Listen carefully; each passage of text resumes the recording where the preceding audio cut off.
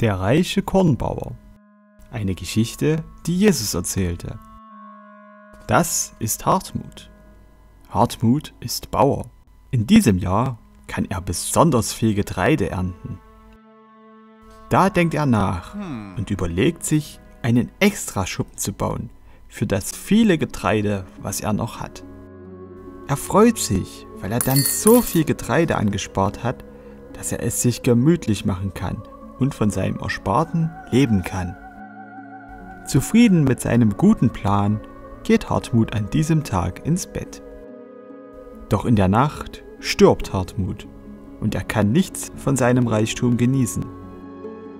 Jesus hat diese Geschichte erzählt, um den Leuten zu zeigen, dass es nichts bringt, sich auf der Erde Reichtümer anzusammeln, weil sie nach dem Tod nichts mehr wert sind.